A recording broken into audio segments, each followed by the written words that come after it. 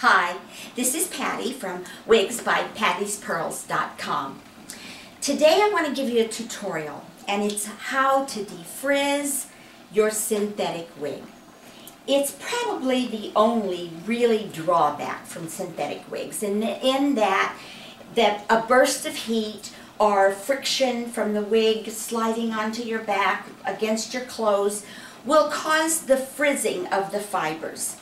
I want to show you how you can defrizz this wig at home and what products to buy.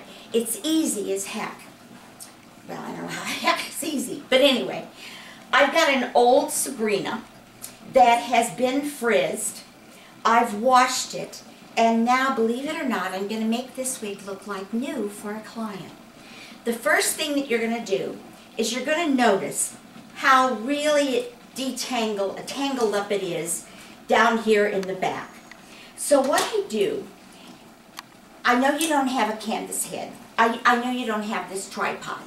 But what you can do is put your styrofoam head on the top of a broom and it'll hold. Go to our website and we're going to have a plastic clamp that you can clamp onto the edge of your uh, counter or whatever and then put the styrofoam head on and you can actually style your own. You can't do this on your head, babe, because you're going to burn yourself. Anyway, I go to the inside back of the wig. That's where it's most of the mess. And I put it outside, inside on the out, and I'm going to take my little pins, my T-pins. We also have these on the website and I'm going to pin it across. Now, can you, can you come in on that closer V so they can really see how tangled that is? The first thing that you're going to do, I've told you about this fabulous heat defiant smoother and detangler. It's also good for synthetic wigs and synthetic fiber, not just heat defiant. So the first thing I'm going to do is spritz it I'm going to take a wide tooth comb and comb down. Now remember, I've already washed it. And now we're going to defrizz it and make it like new for her. Excuse me, camera. I want you to be able to see it. See how I'm kind of just working my way through. I tell you, that detangler makes it just work like silk. All right, so it goes through. Now, here's what you can do. I've got the steamer going, so that's the bubbling that you can hear. See the steam coming out? This is called My Little Steamer. I bought this on QVC for about $35, and it's by that Joy Manganiello. And what it has, it's got the water in here, and it's got the steam. The steam is coming out very good. I mean, it's a nice heavy flow. But it's not so heavy as to knock your wig off your head and everything else. But it gives it a good flow. Now, here is the secret. You take a smaller comb. This is a little rat tail comb. I'm going to have to go around like this, V, excuse me. And now I've got it, can you, are you getting a close-up, V? Now I've got the, comb, the hair combed down. Now, I'm going to take the steamer and walk it down the hair. But while I'm walking the steamer down, I'm going to put the comb there.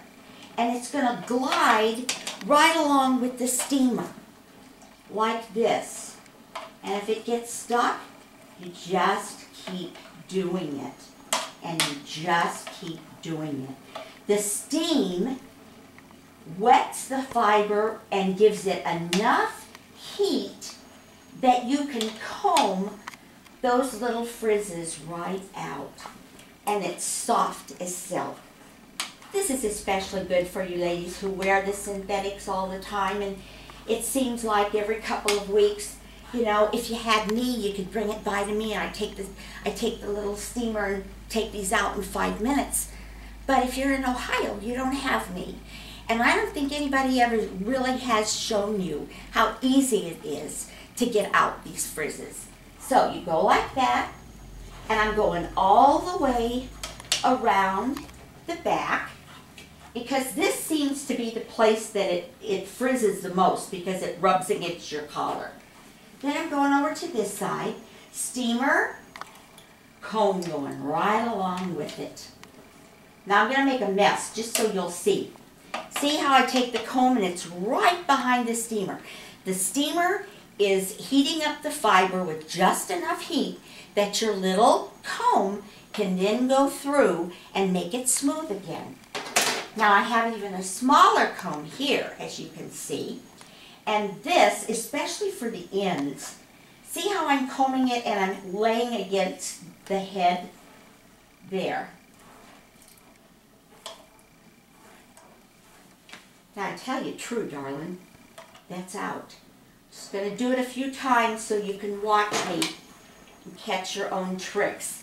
Sometimes what I'll do is I'll hold the comb and as you're combing down like this, you can also turn the comb and see how the top of the comb here is also flattening out. Now let's just say we made a mistake like that or the comb got stuck and it makes a, a, a bend in it. Can you see that? All you have to do is go back through it again and take it down. Now this wig was really, really, really bad. So I had to do it quite a lot to make that as soft as possible. Now what are you going to do? Now you've got, you, you need to curl it. So what you can do, now that it's wet, what you can do is take one of your soft rollers and just roll it up and leave it to dry. Or you can take a heated roller, and I'm going to show you about this later.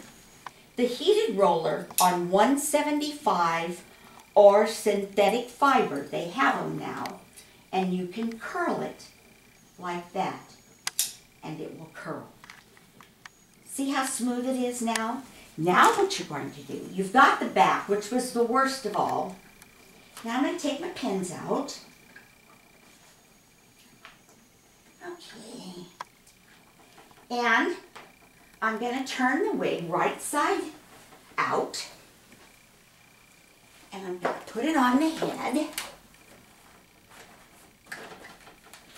With the stick pins. those pins? Oh, there they are. With the stick pins, remember when you put it on your styro head and you're working on it, act like you're just putting it on a head. I want the T-tabs right here, the ear tabs to be straight. They go through straight. This to be up so that when you do comb it, it's nice and even and you're not getting a skewered look at it. So you're going to pin one ear tab. You're going to pin the next ear tab. And then sometimes I'll just stick one right on the top. Now I'm going to show you the back again. Remember how we've done all that steaming? Now the top needs the same thing. I'm sorry to walk in front of the camera, guys. See how it's all frizzed? Take it right out again. Now this is probably as bad as you'll ever see and as bad as you'll get it. And the problem is now you've got a straight wig that you need to recurl.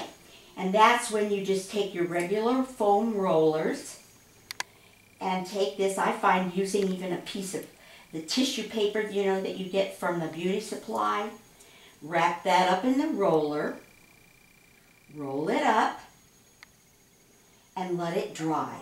And when it dries, you'll have the curl back.